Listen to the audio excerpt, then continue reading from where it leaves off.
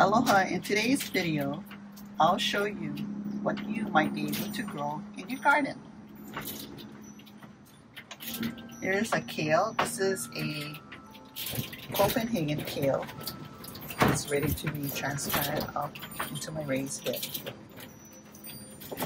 Next we have a tomato plant and it's ready to be transplanted into the bed. I'll put the name of the tomato plant up on the screen.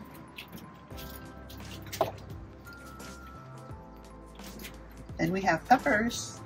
This is the Cali Kim salsa pepper.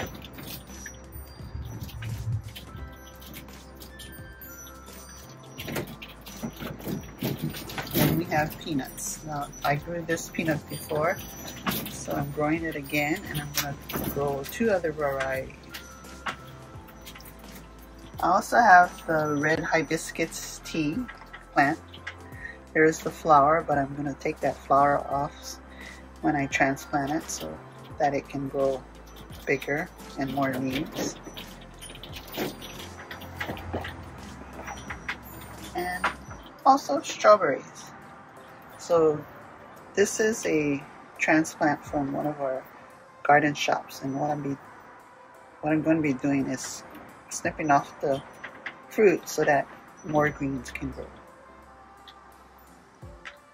Here I have a celery I'm growing it in a small smart pot, but I'm going to be transferring it into a larger pot because I want this to get bigger.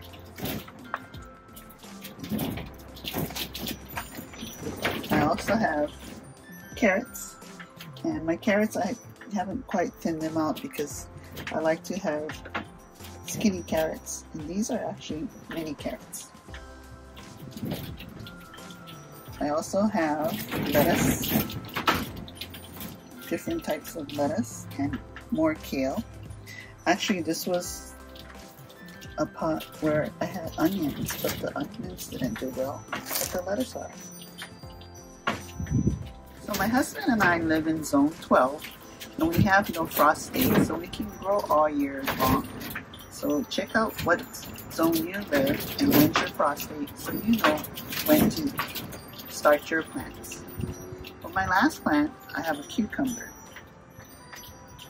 Now this cucumber may not look all that great. This one does, it survived, but this one didn't. I thought we were going to be filming the other day and I left the plant outside and because we had high winds, it snipped or it bent the, oh, the cucumber stem. So I'm trying to see if it could still grow. I'm not sure. That's our cucumber. Here's another plant we're experimenting with. Any guess? Let us know in the comments below. Be a part of our gardening community so we can learn, experiment, and grow together. Hit the subscribe button and also notification button so you know when our next video is up. Mahalo for watching.